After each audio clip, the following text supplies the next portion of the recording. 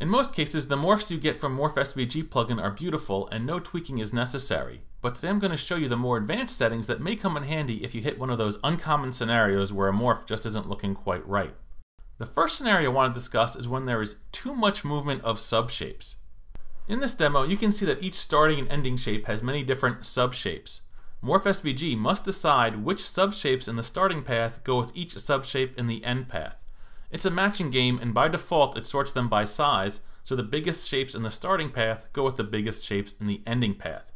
But if you've got a lot of shapes, it might look better to match them by position instead. Let me show you how that works. So let me just pause, and I'm going to go back to where we have these squares or cubes, if you will. So the default map is now set to size, so keep an eye on this top square right here, and as I scrub forward, you'll see that it matches up with this circle here in the microphone. What I'm going to do is change the default map to position, and then I'm going to run again. I'm just going to pause and scrub forward to where we have these squares. So now with the default map set to position, notice that this top square here, when I scrub forward, doesn't travel as far, and it goes right to one of these bars in the top of the monitor. And for something different, we can change the default map to be complexity. And now the next time I run, it's going to be a little bit different. So we'll just wait for it to run. I'll pause and keep an eye on that top box there.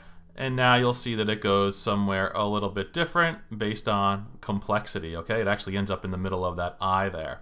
So the default map that you choose is really going to depend on the style you're going for and what type of shapes you're morphing to and from. Let me just pause this real quick. And next I want to talk about the default type, which basically means how the anchor points and control points are interpolated. Right now it's set to linear, which means that as the shapes morph to their end shapes, everything moves in a linear fashion. So just keep an eye on this top box right here to the top right, and you're going to see that it moves sort of in an angle all the way down to the bottom left, okay? So everything is being interpolated linearly. But if we switch this over to rotational, there's going to be a rotation applied to the path that the anchor points and control points move, and if you keep your eye on that top box, let me rewind. So this top box now, you'll notice that it moves in an arc, all right? It's no longer moving in a straight line. So that's going to apply to all the start subshapes and end subshapes. Their anchors and control points are going to move in a more rotational fashion, which sometimes give you a smoother and more appealing look. So I'd encourage you to play with both the default map and default type and see what works best for you. In the next segment, I'll talk more about default type rotational. There are some scenarios where you might encounter some kinks in your morphs. Let's check out this demo here. You'll see that I have this hippo morphing into a circle. And as it's morphing, pay attention to these little lines over here, okay? What we're doing is tracing out the path that the anchor points are following as the morph is happening. And right now it's using the type of linear. So those anchor points are all moving in a straight line. Now, at a cursory glance, this morph looks actually pretty cool, all right? You get a hippo morphing into a circle. What's better than that? But now I'm going to pause and show you that this back leg here, as we move forward just a little bit, you're going to see that you get this overlap, okay? So that's what we're referring to as a kink. And that's not really so good to look at, all right? So what I'm going to do is show you that we can fix that using type rotational. I'm going to click on the demo and let me just pause it so it's not distracting. And I'm going to click on rotational here and we'll click again to hide the UI. And you'll see now that all the anchor points are following more of a rotational path and it gets rid of that kink that we had in the back leg. It looks much, much better. Now there is a point, let me just scrub slowly here, or it gets a little bit bunched up here. It's not perfect, but it's so much better. But one more thing we can do is change the origin that the rotational values are being interpolated around. So let me click again to get the UI up here. And for the origin, I'm going to use a custom value of 20% and 60%. And now when I hit return, let me just click off all this stuff, you're going to see that we have a much better morph back here, all right? So by shifting that origin around, we no longer have any of that bunching or the kinking of those lines. For more information on how type rotational works, head over to the Morph SVG plugin docs. We have a much more in-depth video there for you, and we also have all these demos for you to play around with. Next I want to talk about what happens when you get awkward in-between shapes. In this demo here, you'll notice that I'm using type rotational, but there's some weird stuff that goes on while the dolphin is morphing into the bird, alright? If you look at this fin here, it sort of goes up and crosses over, and you get this weird sort of intersection of lines. What I'm going to do is initialize this code right up top here, which is going to use the find morph origin utility function. When that's enabled, we're actually going to have a tool available to us where we can change the origin of the morphs. So let me just wait until the dolphin comes back. And I'm just going to take this origin, which is sort of sitting outside the shape right now, and bring it up to where its top fin is. And once I do that, you're going to see that you have much less crossing over of those lines, and you get a much more natural, smoother morph. I'm going to take this little point from the bird, move it down a little bit, and I want you to see that as I'm moving it, that we have in the GUI the actual origins of the start and end shape that you can then plug into your tween. Next I want to discuss how kinks can occur when the control points get out of alignment. In this demo here, there is what seems to be a very simple curve morphing into another curve.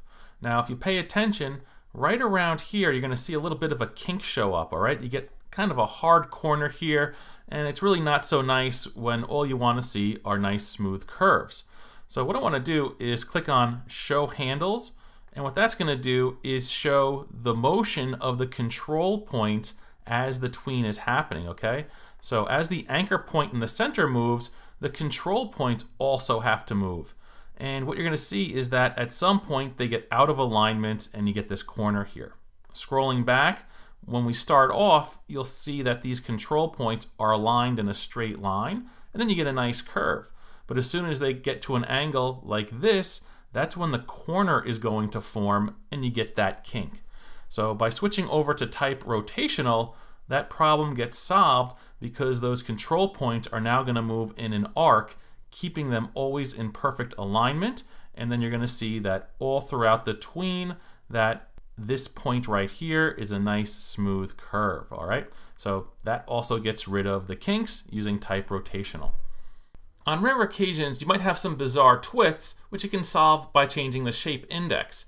Now, the shape index property allows you to adjust how the points in the start shape are mapped. In order to prevent points from drifting wildly during the animation, Morph SVG plugin needs to find a point in the start path that is in close proximity to the first point in the end path. Once that point is found, it will map the next point in the start path to the second point in the end path, and on and on and on. On the rare occasion that Morph SVG doesn't automatically pick the best shape index, you can load up the Find Shape Index utility, which allows you to manually select the shape index. Using this utility, I can change which point in the start shape is going to end up matching to the first point in the end shape. So I can go all the way around, and I might say, hey, you know what? I like that being the first point in the start shape. I see the shape index is 8, and then I can plug it into my tween. For more information on shape index, jump on over to the Morph SVG docs. So next I want to talk about performance. If you're doing really complex morphs on low-powered hardware, you may notice some initial stuttering of your morphs. Now to get around that, we have a precompile property that you can set. Before I get into that, I want to just go through a list of things that Morph SVG needs to do before you can even start animating. First, it needs to parse both the start and end shapes into cubic Bezier values. It also needs to make sure it has matching points in the start shape and the end shape, and if there's a mismatching number of points, it needs to subdivide the paths so that they are equal. And lastly, it needs to find the shape index to make sure that the starting point on the start path aligns with the starting point on the end path. All of these steps require some pretty intensive calculations. So what we can do is get Morph SVG to do all these calculations in advance, and then we can feed the proper strings into the Morph SVG call. So let me just do this. Inside of this Morph SVG tween here, I'm going to type in precompile and set the value to log. Now when I run, you're not really going to see anything different, but I'm going to open up my console and you're going to see that we have this precompile value here and we have an array that has string values for the start and ending shape. So this is the information that's going to be used in the D attribute of those shapes. And I'm just going to copy that entire array. I'm going to go back to my file here and where I have that log value, I'm just going to pass in that array. Now, arguably this could make your code very long and a bit troublesome to read through, but in rare situations where the processors are struggling to do those calculations, um, it's really nice that you can just punch those values in, and then the next time you run the animation, all that will be done up front, and there won't be any stutter. Now, I have a fairly fast machine. This tween isn't that hard, so you're not going to notice any different here in this demo. I just wanted to show you how you would actually use this feature. And there may be times that your SVGs are so complex that the CPU just can't handle all the calculations. In those cases, you can render to canvas. Check out this demo. You'll see that I have an SVG of a heart here, and when I hit play, it morphs to a star, into a thumb, into a rocket, into an apple, and then into a plug, and a few more other things. Using GSDevTools, I can scrub through there, as you would expect. Now check out the code. We have a typical timeline being built, and we just have a series of tweens in here morphing to those different shapes.